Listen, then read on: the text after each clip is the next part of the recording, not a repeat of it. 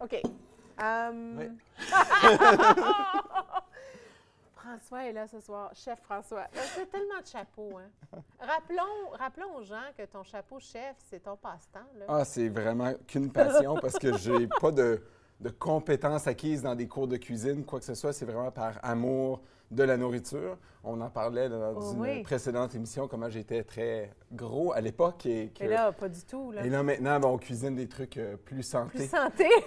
exactement, exactement. Et tu es bien là-dedans. c'est- Tu, tu manques de rien, là. T'es- Ben ben tout-. C'est merveilleux. Honnêtement, là- là-dessus, la viande me manque, euh, mais vraiment pas, Ah parce qu'on découvre un paquet d'autres combinaisons d'aliments qui sont tout aussi savoureuses. Puis tu veux nous partager ce soir certaines recettes pour le printemps. Bien, Tu effectivement, inspiré, là. Tu avais hâte que ça arrive, là, le Et- printemps. quand on pense au printemps, à quoi on pense? Automatiquement, on pense Aux si- fruits. Au sirop d'érable! au sirop d'érable, oui! Au sirop d'érable, Ben oui, parce que c'est la chose qui est en fait un peu la, euh, la, la- la thématique là, à travers ces, ces différents Tu sais, le, sirop d'érable, c'est drôle que tu dis ça, puis c'est certain, là, puis on en avait même parlé. Non, mais moi, je suis comme... C'est parce que le sirop d'érable, on prend un peu pour acquis. On l'a à la- à l'année longue, hein, Ici, oui. ici. Mais c'est ça, c'est pas partout Non, à l'année longue. Euh, je pense même, mon, mon- mon- mon copain, qui vient, mon mari qui vient de Terre-Neuve, avait pas du sirop d'érable à l'année longue. Ouais. Euh, en tout cas, c'est vraiment spécial. Mais là, là c'est. Est-ce que toi, tu prépares le sirop d'érable euh, plus, plus blond ou plus brun? Est-ce que tu as une ça, dépend dans, ça dépend dans quel contexte. Justement, pour Oui. la nourriture, comme ça, préparer une recette, que ce soit une tarte au sirop d'érable, que ce soit euh, pour justement un, un cheesecake euh, au- à l'érable, c'est toujours mieux d'avoir euh, un, un sirop qui est davantage plus foncé. Euh, donc, dans les grades, là, là je ne rentrerai Oui, pas oui. trop dans le technique, là, mais aller plus vers un C, même un D, parce que ça va être très goûteux. Moi, j'aime beaucoup les sirops Oui, foncés. exactement. Le Alors que le A, c'est presque de la sève, là, que j'appelle. Donc, c'est certainement pas la couleur. Ça, là, ça, ça- ça va vers un C ou un D. là. On va montrer ce que Euh, c'est, oui. peut- oui. oui, ça, c'est une boisson à l'érable euh, qui, euh, qui vient du coin de chez mes parents, dans le Témiscouata, près de Rivière-du-Loup. Et euh, c'est justement là, euh, un producteur acéricole qui a décidé de faire euh, une boisson alcoolisée comme ça, qu'on dégustera tout à l'heure. euh. Ah! Oui, oui, oui, tout à wow. fait. J'ai jamais goûté une boisson alcoolisée à l'érable. Oui, ben ça goûte un peu, celui-là goûte un peu un porto, mais avec une petite teinte à l'érable. Oh, Donc, pardon, pardon, C'est vraiment, vraiment intéressant.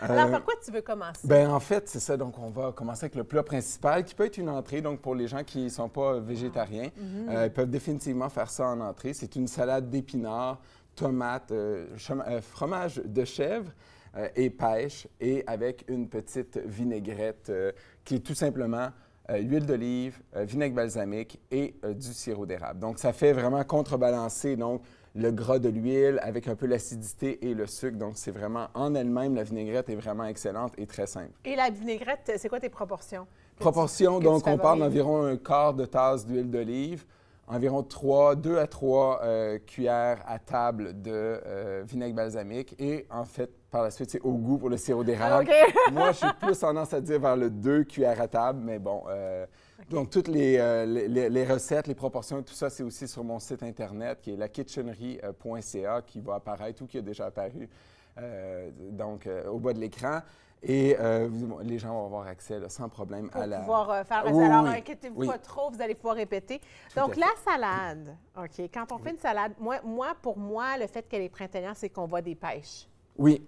Ça pourrait être aussi été, avec les pêches. Est-ce qu'il y a d'autres fruits? Si on n'a pas de pêche, est-ce qu'on peut inclure d'autres fruits dans cette salade en particulier? particulièrement la pomme. Euh, J'irai avec une pomme très acide euh, pour, euh, pour contrebalancer Comme le une pomme sucre. verte? Euh, une pomme verte, ça pourrait être une bonne, un bon exemple, ou une Cortland qui Oui. est plus dure, donc qui va être un peu plus acide oui, aussi. Euh, donc, ça pourrait être des bonnes, des bonnes options là, pour une salade comme ça. Et le chèvre vient contrebalancer aussi le sucre, tout ça. C'est Tu vraiment. peux aller aussi côté fraise? Oui, euh, moi je suis moins, Moins. fraise dans, les, dans les salades, mais ça c'est, une, OK. c'est une, euh, un choix personnel. Euh, mais sinon, oui, on peut Quand aller on parle, vers... je, veux- je veux te partager, j'ai un ami italien, puis euh, il m'a déjà fait une recette, c'était seulement des, des, euh, des quartiers d'orange, mais sans peau, comme Oui. sans... sans, Oui. Bon, et avec un peu de poivre, huile d'olive, un peu de sel. C'était délicieux. wow. Oui, Ça doit être c'est drôle, hein? Comme, Ben alors, non, mais oui, mais je, peux, délicieux. je peux voir comment ça peut être vraiment les contrastes. Les parce contrastes. que dans la cuisine, c'est ça qui est important, c'est d'avoir toujours les contrastes, d'avoir de l'acidité, du sucre, euh, de la mer et tout ça. Puis c'est ce mariage des saveurs qui va vraiment amener quelque chose d'intéressant en bouche. Tu nous inspires beaucoup. Est-ce que tu veux passer à... Ben donc, oui, voilà, euh, un petit ta truc ici. vinaigrette, Euh, peut-être? oui, Oui. ben la vinaigrette, qu'est-ce que j'ai fait? Parce que là, elle se sépare en ce moment, ce qui est normal.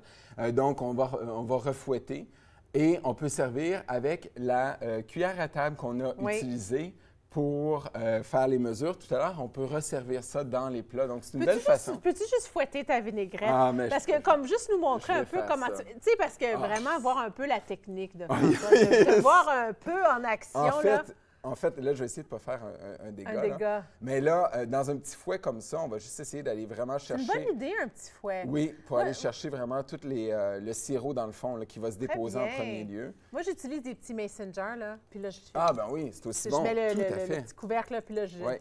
je laisse ma fille jouer avec ça. Et la chose, donc là, au moins, est moins Très bien. séparée.